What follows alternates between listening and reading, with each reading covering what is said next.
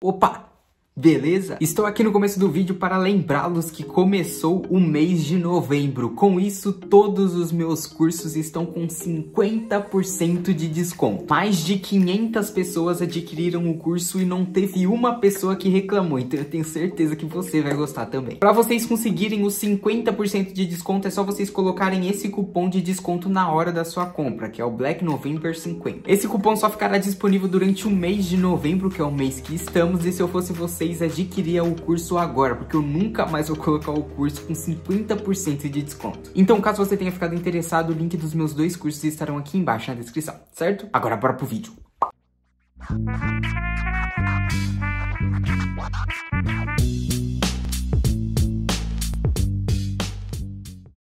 Senhoras e senhores, hoje trago mais uma mágica para vocês realizarem de improviso. Por sinal, se vocês gostarem da ideia, eu posso transformar isso daqui em um quadro no canal, onde eu ensino mágicas de improviso. Você não precisa fazer preparo no baralho, não precisa de gimmick, não precisa de nada, apenas de um baralho, de moeda ou sei lá o que seja. Então, caso você queira que eu transforme isso daqui em um quadro no canal, comente aqui embaixo, pois é de acordo com o feedback de vocês que eu vejo se trago isso daqui pro canal ou não, certo? Então, vamos lá. Como a mágica é de improviso, no começo da mágica você pode dar o baralho para o seu espectador misturar. Então ele pode misturar quanto ele quiser e da maneira que ele quiser.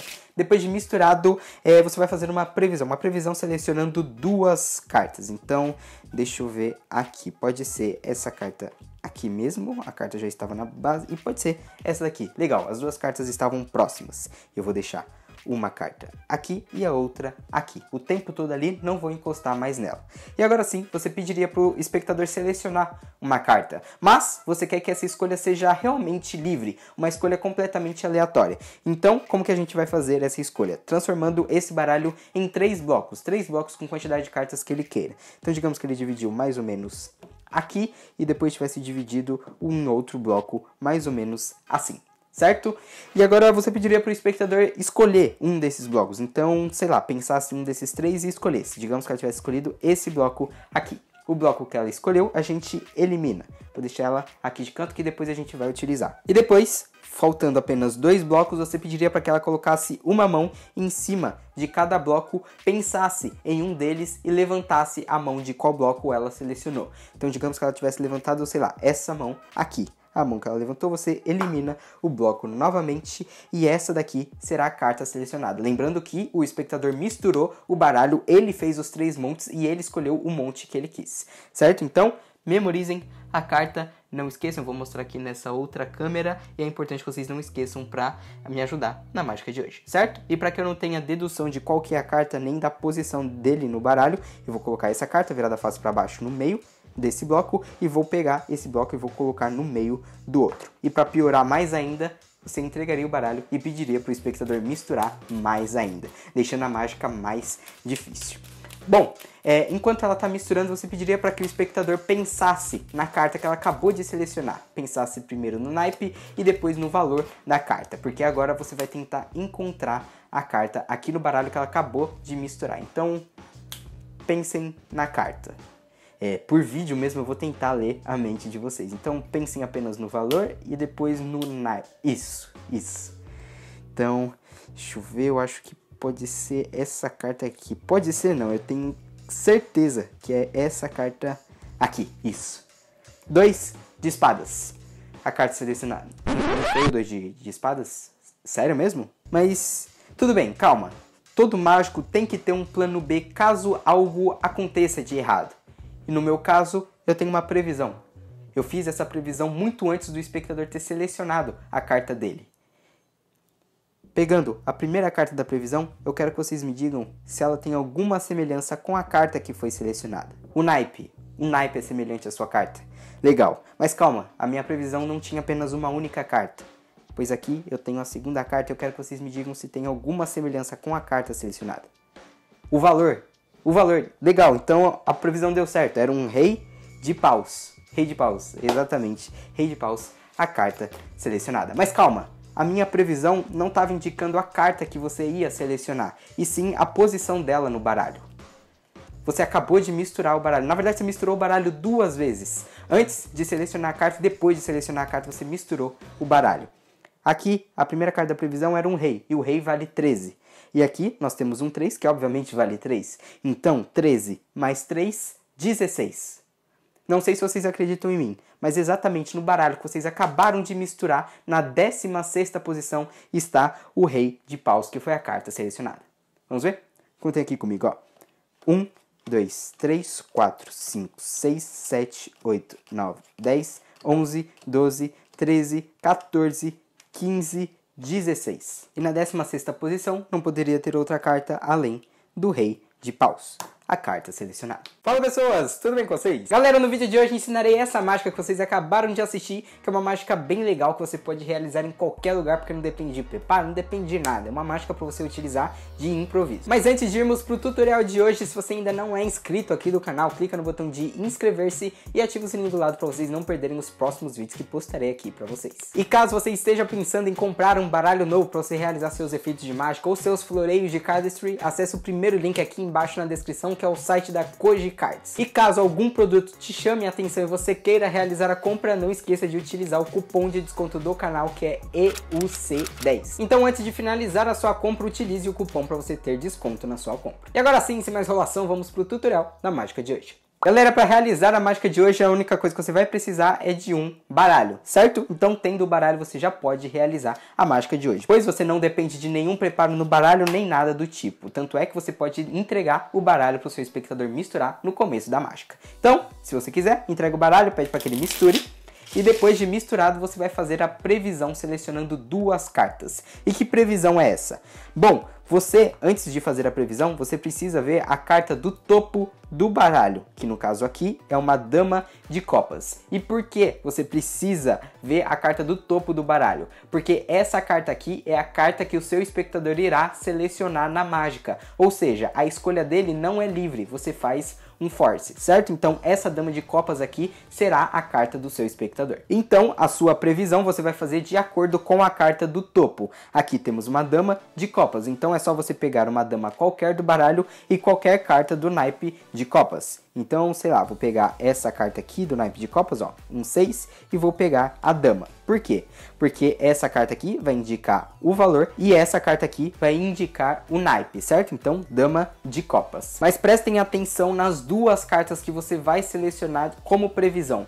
Por quê? Porque como vocês viram na mágica, a somatória das duas cartas indica uma posição, que no caso é a posição da carta no baralho lá no final da mágica. Então, é importante que você lembre o valor das duas cartas depois de feita a previsão. E agora, sem deixar com que o seu espectador veja a sua previsão, você vai deixar as duas cartas viradas face para baixo na mesa. Então você pode entregar na mão do seu espectador, pedir para que ele guarde as cartas assim e não veja até o final da mágica. Mas não esqueça o valor das duas cartas, porque você vai utilizar mais para frente, certo? Então, uma dama e um 6. Então pronto, depois de feito isso, você vai pedir para o seu espectador selecionar uma carta, mas você quer que ele selecione de uma forma aleatória, transformando o baralho em três montes. Então, o que você vai fazer? Você vai pedir para que ele corte o baralho assim, em dois montes, certo? Lembrando que como eu disse, a, carta do espectador é a carta do topo, então você vai forçar essa carta aqui. Então é só você acompanhar a movimentação da carta do topo. Você vai pedir para que ela divida o baralho em dois montes, mais ou menos assim. Agora você sabe que a carta do espectador é essa carta daqui, é a carta do topo desse monte. E agora você vai pedir para que ela pegue o monte de baixo e divida novamente em outro bloco, mais ou menos assim. Então é legal que o seu espectador faça este movimento aqui, ó pega o baralho, divide em dois montes. Depois pega o bloco de baixo e divide novamente em dois montes. Porque o espectador perde a noção de qual que era o bloco de cima, ele fica meio perdido e não consegue acompanhar a movimentação. E aí o seu force fica mais fácil de ser executado. E pronto, a parte do force é a parte mais simples da mágica, porque agora você vai pedir para que ele escolha um desses blocos. Pode acontecer várias situações nesse momento aqui, mas em todos você consegue escapar e forçar com que ele selecione esse bloco aqui, porque você precisa que ele selecione esse bloco que tem a dama de copas. Então como que vai funcionar? Você vai pedir para que ele selecione um desses blocos. A maioria das pessoas seleciona logo de cara o bloco do meio. Se ela selecionar o bloco do meio, você fala: "Bom, então esse bloco a gente vai utilizar e os outros dois a gente elimina". E pronto. Você força a carta do topo desse bloco. Mas caso ela selecione algum dos outros blocos, digamos que ela selecionou esse bloco aqui, aí você fala, então, esse bloco você selecionou, a gente elimina, sobrando apenas esses dois. E pronto, você sabe que esse bloco aqui é o bloco que tem a dama. Aí você vai pedir para que ele coloque uma mão em cima de cada bloco, escolha um deles e levanta a mão equivalente. Então, digamos que ela levantou essa mão aqui. Se ela levantar essa mão, você fala, bom, então o outro bloco a gente elimina e a gente vai utilizar essa carta aqui. E pronto, você forçou a carta. Mas caso ele selecione o outro bloco, digamos que ele levantou essa mão. Aí você fala, então esse bloco que você escolheu, a gente elimina e sobrou esse daqui para a gente selecionar a sua carta. Então não importa a decisão do seu espectador que você vai conseguir forçar a escolha do bloco da mesma maneira. Se ele selecionar logo de cara o bloco do meio, é só você forçar a escolha dessa carta. Você fala, então os outros dois blocos que você não quis, a gente elimina e vamos utilizar essa carta aqui. Mas caso ele selecione algum dos outros blocos, digamos que ele selecionou esse daqui dessa vez. Aí você fala, então o bloco que você selecionou, a gente elimina sobrando esses dois blocos aqui. Aí você você pede para que ele coloque uma mão em cima de cada carta, de cada bloco, né? E aí você pede para que ele selecione um deles e levante a mão. Se ele selecionar esse é esse bloco aqui, você fala para eliminar o bloco que ela selecionou e força essa carta. Se ele levantar essa mão aqui, você fala, então o bloco que você não quis, a gente elimina e vamos utilizar essa carta aqui. Então não importa a decisão dele que você vai forçar essa carta da mesma maneira. Então, Pronto, forçou a carta, você não vai ver, obviamente, para deixar a mágica mais impossível, você mostra a carta pro pessoal, perde ela no meio desse bloco e para deixar mais impossível ainda, pega esse bloco e perde no meio dos outros dois. Mais ou menos assim. E para deixar mais impossível ainda, você entrega o baralho pro seu espectador misturar. E ele pode realmente misturar porque você já sabe a carta que ele selecionou. Pronto, depois de misturado, você vai fazer de conta que vai ler a mente do seu espectador para selecionar a carta dele aqui no meio mas na verdade isso daí é apenas um migué para você colocar a carta do espectador na posição para realizar o efeito final da mágica. Então agora é o momento que a gente utiliza o valor dessas duas cartas aqui, que no caso era a dama, que vale 12, e o 6, que obviamente vale 6. Por que você precisa desses dois valores? Porque agora você vai procurar a carta do seu espectador, que você já sabe qual que é, que é a dama de copas, e aí você conta a quantidade de cartas é, após a dama de acordo com a sua previsão. Aqui temos uma dama e um 6, certo? Então, contando da própria carta, que é a carta do espectador, você conta, ó, 1, 2, 3, 4, 5, 6, 7, 8, 9, 10, 11, 12. E agora você coloca mais 6. 1, 2, 3, 4, 5, 6. Passou isso daqui, aonde você chegar, você corta o baralho para base, fazendo com que agora tenha 12 cartas mais 6 em cima da carta do seu espectador. E aí você faz a brincadeira. Bom, essa daqui foi sua carta, dama de espadas. Ela vai falar que não. Aí você fala: "Bom, mas eu me equivoquei porque Calma, todo mágico tem um plano B. Talvez nem tudo tenha sido perdido, porque aqui eu tinha feito uma previsão. Uma previsão muito antes de você ter selecionado a sua carta. E aí você vira a primeira carta. Que carta eu sugiro que você vire primeiro? Eu sugiro que você vire primeiro a carta que represente o naipe, porque geralmente é, o impacto final é com o valor. Com você virando por último a carta que representa o valor, o impacto da mágica fica mais legal. Então, você pega a carta que representa o naipe, você fala, essa carta aqui tem alguma semelhança? Ela vai falar o naipe. E depois você vira outra carta e mostra. Essa carta aqui tem alguma semelhança com a sua? Ela vai falar o valor. Aí você fala, legal, uma dama de copas foi a carta que você selecionou. Ela vai falar que sim. E aí você finaliza a mágica falando que a previsão não indicava a carta que seria selecionada, e sim a posição dela no baralho. E aí você lembra o seu espectador que o baralho foi misturado, que ela misturou o baralho duas vezes, recapitula tudo o que aconteceu na mágica para o efeito dela ser mais legal. Então pronto, agora é só você contar as cartas. Aqui temos a dama que vale 12 e o 6 que obviamente vale 6. Somando as duas cartas vai dar 18, certo? Então contem aqui, ó. 1, 2, 3, 4, 5, 6, 7, 8, 9, 10, 11, 12, 13, 14, 15, 16, 17, na 18ª posição, a Dama de Copas, a carta selecionada. Galera, espero que vocês tenham gostado da mágica de hoje. Se vocês gostaram, não se esqueça de clicar no botão de inscrever-se, ativar o sininho e clicar em gostei para não perder mais nenhum vídeo. Se vocês quiserem um baralho novo, acesse o primeiro link aqui embaixo na descrição e utilize o cupom de desconto do canal que é EUC10, certo? Muito obrigado a todos vocês por estarem assistindo o vídeo até aqui e até a próxima.